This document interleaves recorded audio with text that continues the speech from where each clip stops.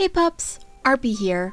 With the holidays right around the corner, we have to have our gifts bought, wrapped, and ready to open on Christmas Day. For those who have no idea what to get anyone who's a Pokemon fanatic in their family or friend group, even if it's obvious, then you've come to the right video. These are some great gifts for Pokemon fans. Let's get started. Pointing out the obvious here, video games. From the classics from the Game Boy era to the newer generations with the Switch, you can get any and all Pokemon fans a video game from the franchise, and they'll pretty much play it for hours on end. Whether you find them at a secondhand shop, an online store like Amazon, you can find some for pretty cheap prices if you look around in the right places. Just make sure you don't get a dud or some kind of fake. Trading cards. Whether your Pokemon fan is a card gamer or a collector, trading cards are a huge must have. Plushies and figures.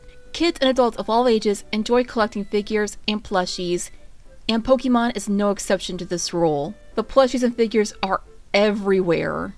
Home goods. Got a Pokemon fan who likes coffee, tea, or mugs in general? Pokemon mugs. Or water bottles if they like fancy water bottles. A Pokemon fan in need of posters? Boom! Posters! Pokemon doesn't just have toys and games in their category. They also have home goods like mugs and posters. And even cookware. What about clothes? Oh yeah, if a Pokemon fan is a fashionista, it's perfect for them. Cosplay, regular tees, you name it, even jewelry.